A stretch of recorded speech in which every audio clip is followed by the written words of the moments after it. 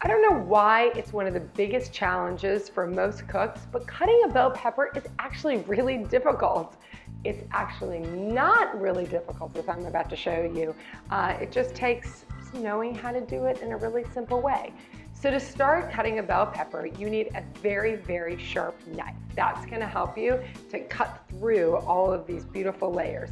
And what you wanna do is take your knife and starting at that green part, right between the green and the red, or I've got a green bell pepper here today, you're gonna take your knife and slice right there. Inside it, trying to avoid the white pith that's in there. Once you get that first section done, the rest is really easy. Turn the pepper a quarter turn, slice another off, turn another, another third, and then finally the fourth quarter of the pepper cutting the very bottom off at the end. And then when you look at it and you see the stem with the white pith and the seeds still attached, you can see how much easier it is to cut.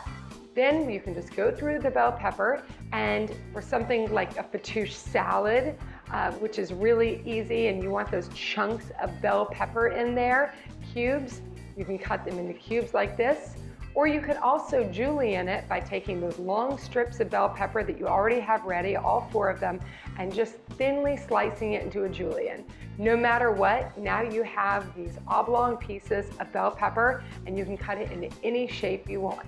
What kind of recipe would you use a bell pepper in? Tell me in the comments below. For more fast, fresh, and easy recipes like this and more, quick tips too, check out weelicious.com.